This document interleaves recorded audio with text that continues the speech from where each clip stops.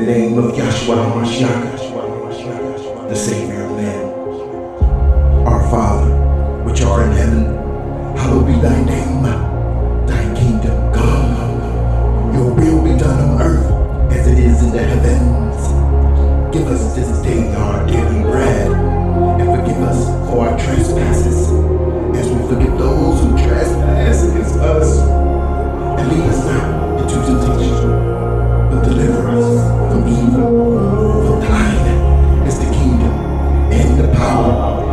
glory, forever and ever.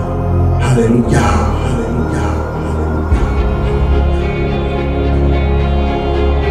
Do you seek to break away from us? We will rip you apart. He left you here with us, under our rule. He does not love you. Come back to us, and we will give you the world.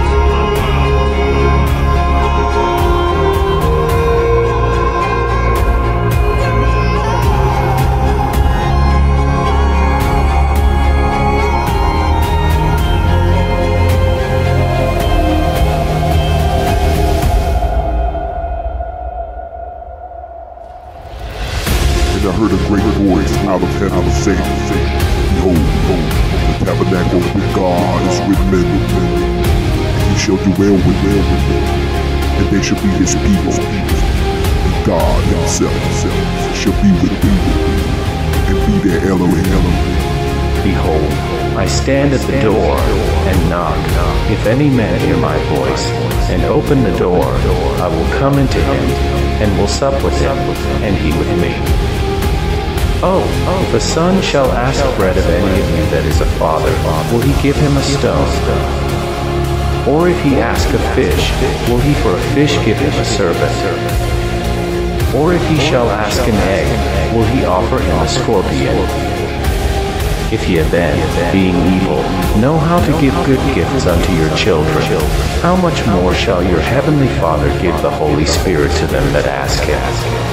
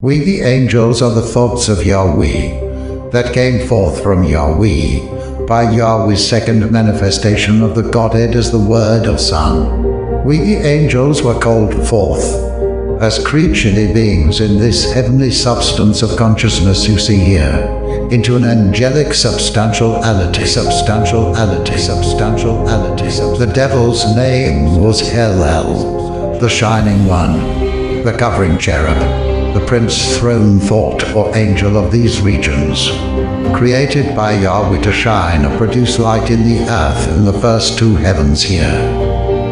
However, the devil insanely attempted to steal the power of the Godhead, the fiery manifestation you see there. So long, O Zaphria, that the good angel was obedient to Yahweh, a bright light rested on him and on his hosts. But when he transgressed Yahweh's commandment, he deprived him of that bright nature, and he became dark. And when the devil was in the heavens, in the realms of light, he knew nothing of this darkness, but he transgressed. And Yahweh made him fall from heaven upon the earth. And it was this darkness that came upon him when Hellel was in Eden. He was the light of this domain thus was his name El Ben Shahar, the Shining One, the Son of the Dawn. Howbeit, that Yahweh made him dark, and it was this darkness that was on the face of the deep. Elul and his mama Don became Tom, the adversary, by leaving the spiritual mind of Yahweh, and became the carnal mind, that is at enmity against Yahweh. That mind that can never be subjected to the law of Yahweh and neither can it ever, ever, ever, ever. We have shown you how the devil lost his beautiful form when he faced Michael.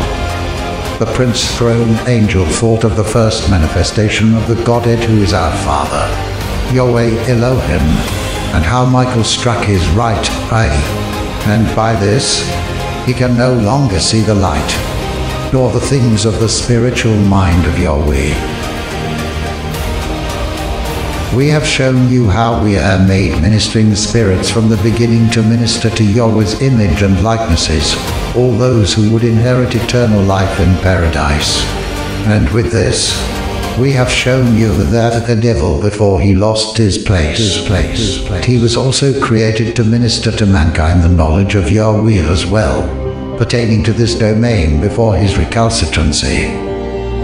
We have also shown you that when the devil and his cognoscenti were banished from the high heavens due to their peripeteia, from the royal edict, and by means of their darkness, their presence destroyed the earth, and because of this, Yahweh had to resurrect this region by saying, Let there be light, there be light, and separated the light of Yeshua the Messiah, who is the heavenly perception himself from the dark light of night, the evil obscurity. With all of this, O man, we will now show you that first battle between the thoughts of angels of the carnal mind, who is Satan, and the bright ones of the heavens, thoughts from the spiritual mind of Yahweh, Yahweh, and the words and qualities that issues from us, the holy thoughts, where you will know where the evil qualities do originate, notwithstanding to also make you aware of the invisible thoughts that speaks to you in your mind, so as to become attentive to them towards taking heed as to not fall into temptation. Temptation, temptation, temptation, temptation, temptation, temptation, temptation, temptation.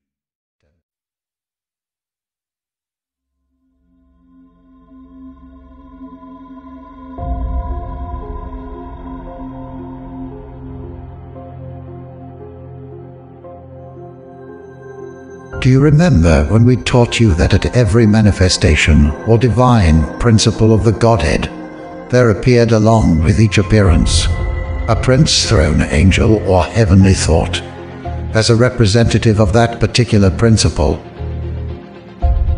Your brother Stephen spoke well in what we taught him, when he said that the law was given by the disposition of angels but the law did come from the prince throne angel, and his confreres of that first manifestation of the Godhead, who is Yahweh Elohim. Michael and the legions who are under his command did distribute the law from Yahweh, from Yahweh, from Yahweh, from Yahweh.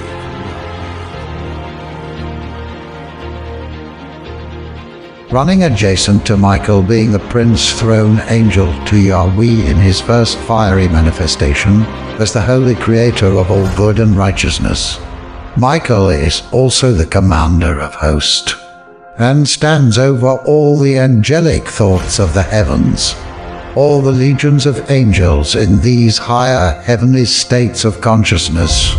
Michael is the angel of the covenant, the covenant, the covenant, the covenant, the covenant, the covenant. That the manifestation of the Word or Son, Yoshua the Messiah, where Yahweh took on shape and formed within himself as the heavenly spiritual man who created all the heavenly host of thoughts or angels, and also the heavens and the earth. He who is now called the devil and Satan was endowed with a spectacular light by Yahshua, who is the light of all, and placed as the prince throne angel thought of the earth, the first heaven, and the second heaven as a representative of the Word or sun principle the devil's name was then Hellel. However, he left his place, his throne, by devising an unspeakable murderous and terrible disposition, and sought the power of the Godhead who is Yahweh himself, thus lost his holy name.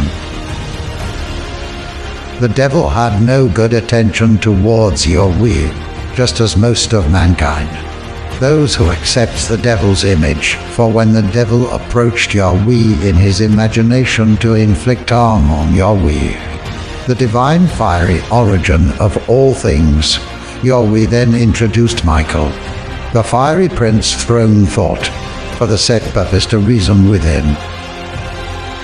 The devil rejected Yahweh's love, mercy, and compassion, and fell upon Michael's martial introduction and the devil lost his beautiful form and was permanently sealed in his evil imagination. The devil also lost his right eye, which is not like a physical eye, but the spiritual eye, in what the right eye represents spiritually in that which you know well of and can see clearly even beholding most of your brethren who loves the devil, presenting or exhibiting the one eye of Satan, one eye of Satan, one eye. Uriel is the prince, throne angel of the third manifestation or office of the Holy Spirit. And he and Michael kept their place and did not, and will not deviate from the royal edict. For they love the holy fiat. They worship, adore, and cherish us Yahweh with much wisdom and adoration. You will see them shortly. I am commanded to show you the birth of the carnal mind, the very mind of Satan.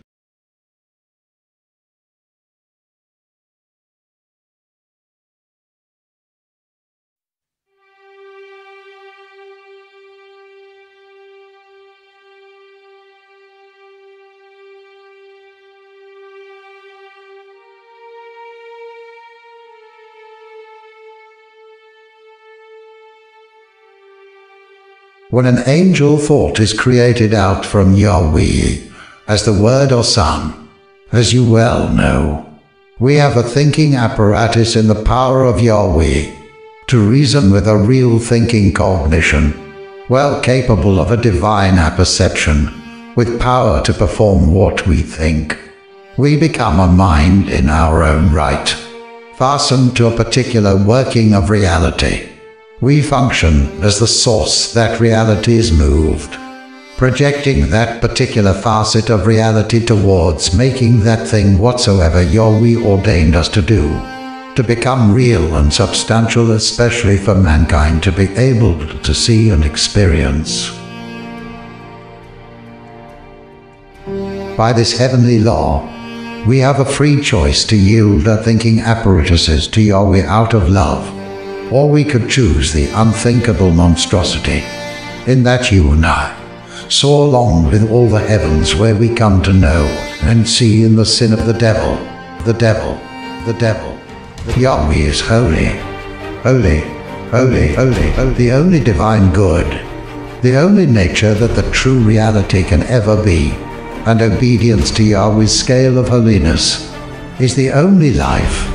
For it is not as if we are being obedient just only for Yahweh's sake, which, by the way, produces great joy in his being. For it is his desire that we choose to live, but we are obedient for ourselves as well, as a pronouncement to him. That says we love the holy, joyous life that he gave us, and are glad that it was not a life of pain and agony, which that life came from the devil's center. Yahweh wants you and I to be obedient so we can live. Yahweh created us for life, and there is no life outside of holiness.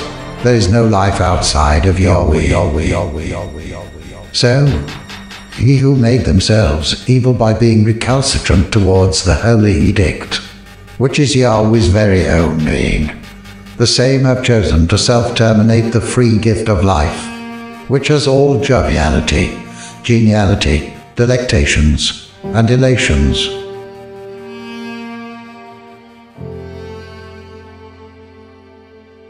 Since Yahweh is holy and undefiled, everything, especially angel and mankind, must from divine arbitration be holy and undefiled as well.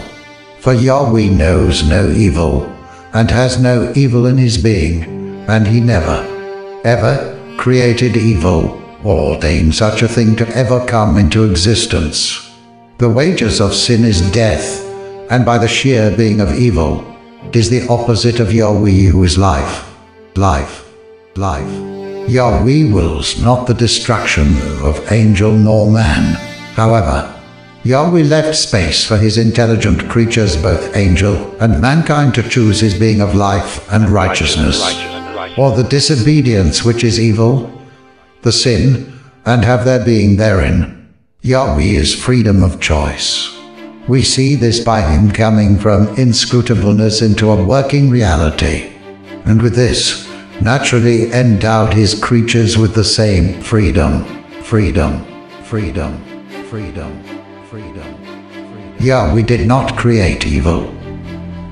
However, he knew it would come into being in his divine foreknowledge, in the power of potentiality that Yahweh brought forth, which had to be allowed from Yahweh in order to have creatures with autonomy to love him from a real working center. Without Yahweh creating this power of potentiality, without this space for his creatures to choose him, which is holiness, there would be no creature distinct from Yahweh at all, at all. This apperception that we heavenly thoughts have is no small thing to a Zaphria, for when we yield our powers to perform a heavenly duty, Yahweh knows of it, and he becomes divinely happy. Yahweh's happiness shoots forth love.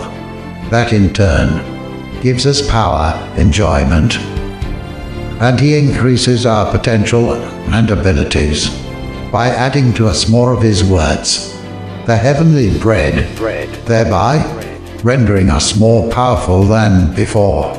By this Zaphria, we increase for all eternity ad infinitum, becoming more wonderful in the heavenly states of consciousness.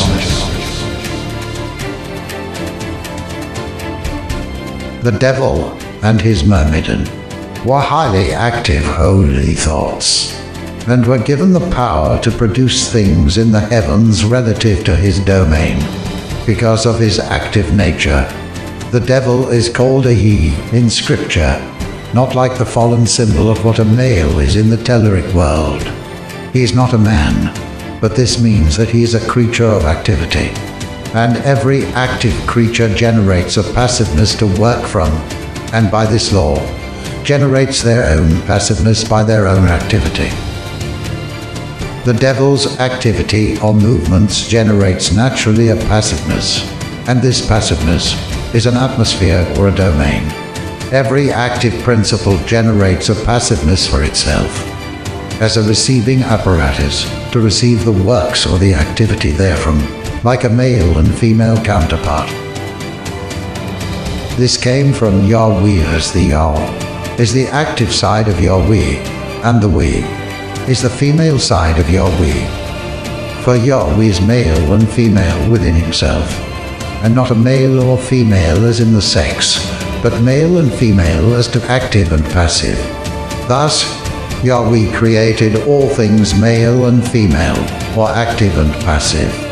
Where you come to see in the original text, as the sun is a male, the moon and the earth is female, etc. And Yahweh even created mankind in his exact image and likeness. Male and female created he them. When the devil and his angels were in their first original estate, the atmosphere that the devil and the legion he had under his command given to him by Yahweh produced an atmosphere or a passive environment that was beautiful, full of a joyous knowledge in the form of musical notes, chords, and scales of understandings, which produced forms of beauty and love pertaining to the comprehension of Yahweh's glory.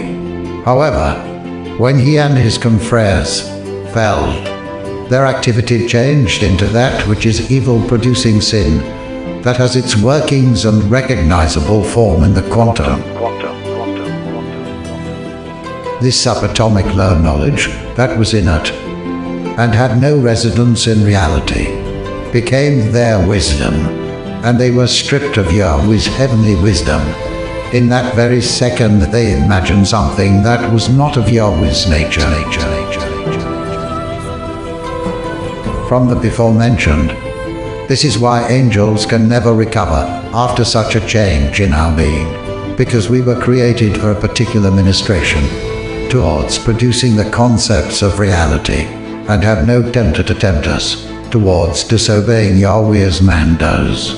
And if we conceive a byword of iniquity in us, it was done from our own willing center, from a willful blasphemy of the Holy Spirit with no tempter and have decided to deliberately break from our holy thinking into that which is contrary to Yahweh as an enemy, and by this no mercy can be given to us.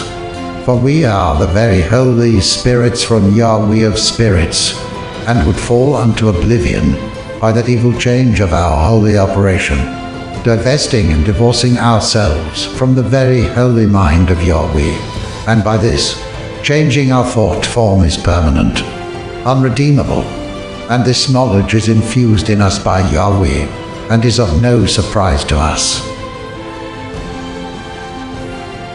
Therefore, Zaphria, as angels are the thoughts of the heavens, as a lower servant mind within the mind of Yahweh. When the devil deviated from the holy edict, he became the only polar opposite that was not from the beginning. Nor was it the attentions of Yahweh who was the spiritual mind, for this to be so, and the devil became the carnal mind, the only mind that is at enmity against Yahweh. From what we showed you above, this mind can no longer be subjected to the law of Yahweh forever. This mind never came out of Yahweh's heart, from the divine fiat, but was a doing of the devil keeping in mind that an angel or thought is a mind in their own right, amalgamated into the structure of reality. The devil before his fall was the covering cherub of the earth, first heaven, and second heaven, as the shining one of these regions, created to render light which is perception, in the heavens, whereas he was to minister to mankind the knowledges of Yahweh. when the devil and his cognoscenti move now as the evil.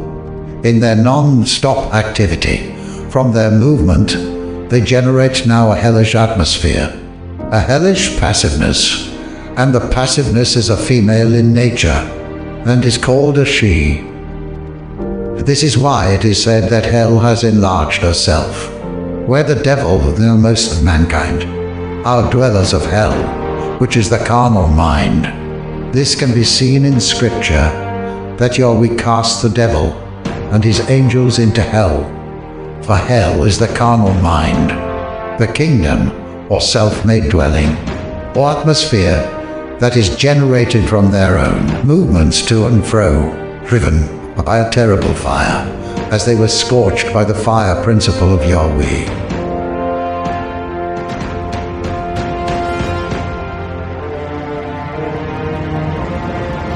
you can come to understand this set universal law in all things that are active and have activity, like tornadoes, volcanoes, and comets, as these do form a passive atmosphere that has its birth from their active movement. And this is seen even in man. You have seen when a man has his workings in great sins, as a murderer or any other kinds of sins which forms a hellish, toxic person of a gross disposition, like when a man is in great anger. How he carries a hellish, invisible, passive atmosphere that you can perceive as hostile or dangerous, or a woman or a man who has the spirits of lust in them, who carries or generate from their own actions a hellish, lustful atmosphere, or even a holy man who has his workings with Yahweh how his holy atmosphere is a heavenly kingdom and is perceived as a peaceful, pleasant domain. This living axiom of that which we speak of, it interpenetrates through all creation, creation, creation, creation. Since we have taught you the true nature of hell, the carnal hell mind, that was not from the beginning, but is now in consciousness until Yahweh place it into the lake of fire, which is his first manifestation without mixture. We will now show you what the fallen angels brought into existence from their willful change of form, with all the wicked words and concepts that forms their kingdom of the carnal hell mind, into the despicableness as a blasphemous operation within the holes of Yahweh's mind.